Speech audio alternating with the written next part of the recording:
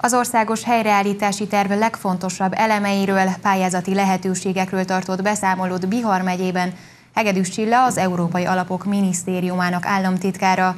A körút során Érmiájfalvára, Diószegre és Nagykágyára is ellátogatott, ahol uniós pályázatok révén sikerült jelentős beruházásokat megvalósítani.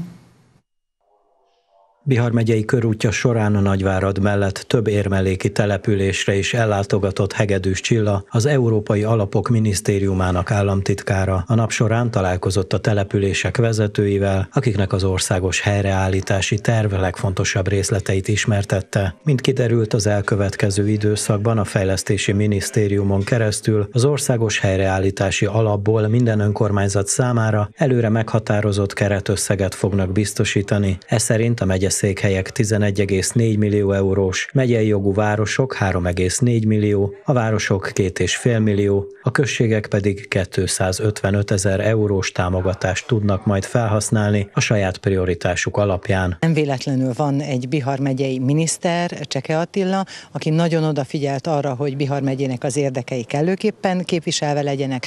Lehet majd középületeket felújítani, lehet majd iskolákat felújítani, okos laboratóriumokat felújítani, felszerelni, orvosi lakásokat építeni, szolgálati lakásokat építeni, és természetesen zöld autóbuszokat vásárolni. Az Európai Unió által elfogadott terv alapján 2026-ig több mint 30 milliárd euró áll Románia rendelkezésére, amelyből jelentős beruházásokat valósíthatnak meg, fejleszthetik az oktatást és az egészségügyet, ugyanakkor kulturális és természeti útvonalak kialakításával és a műemlék épületek felújításával lehetőség nyílik a turizmus fellendítésére is.